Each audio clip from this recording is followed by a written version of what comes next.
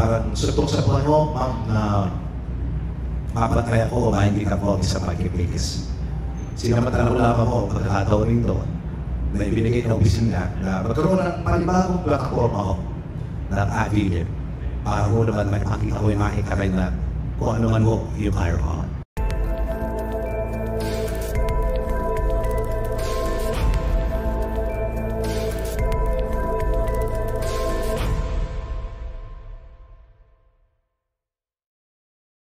Were starting out mo ba, meron po ba kayong uh, mentors or idols in in the journalism and camera industry na earning instrumental din sa pagpasok na sa naman are some of women journalism Thank you.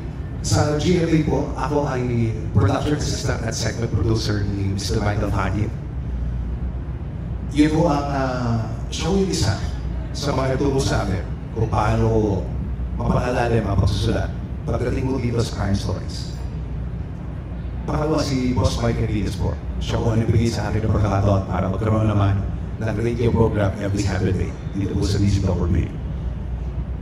Sila mo dalawa, marahil ma, sir, yung uh, itinutuloy kong hindi pa kahit ano, ano, kundi sila itinitinan na ako pagdating ko sa profession.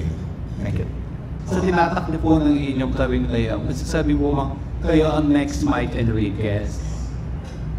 Thank you. Hindi po yata sa akin paniniwala, hindi po yata kaya natayan.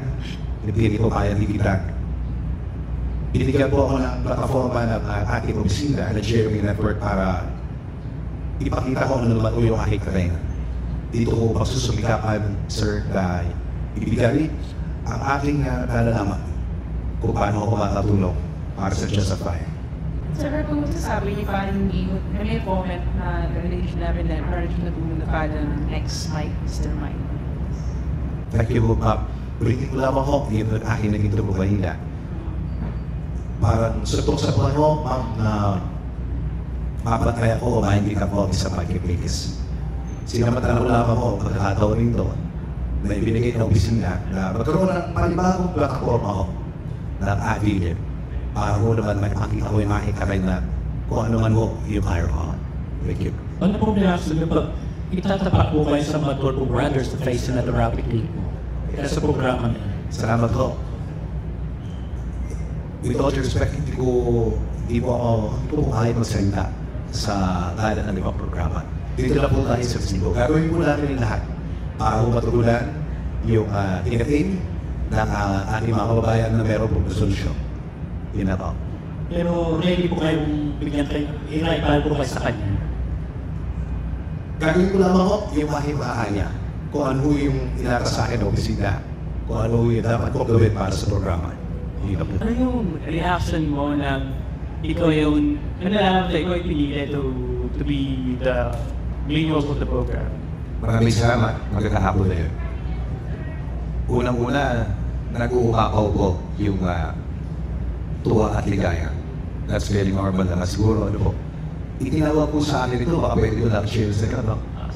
Sa everyday routine ko kasi pag maaga ko natatapos, dito ako nag-spend ng time sa Sacred Heart Parish. Dito malapit sa atin. So, I pray that we'll sit in there, then I pray pag uh, maluwag at maaga ko natatapos sa Jubilo. Diyan din ako nakatagal na tawag yung telepono. Nag-relay, tapos inipuawahan ako din po dito sa show na ito.